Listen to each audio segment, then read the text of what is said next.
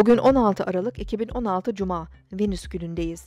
Yengeç burcundaki Ay 0.37'de, Koç burcundaki Uranüs'te dik açı yapacak ve ardından boşluğa girecek.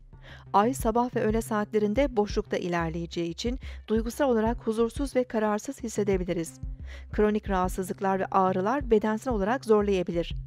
Beklemediğimiz ani durumlar bizi şaşırtabilir ve günlük planlarımızı değiştirebilir. Ay 16-15'te Aslan Burcu'na geçecek. Öğleden sonraki saatlerde daha dışa dönük ve özgüvenli enerjiler altında olacağız. Aslan Burcu'ndaki ay, eğlence, keyif, sanat ve hobilere ilgimizi arttırırken, dış dünyada dikkat çekmek ve takdir edilmekte isteyebiliriz.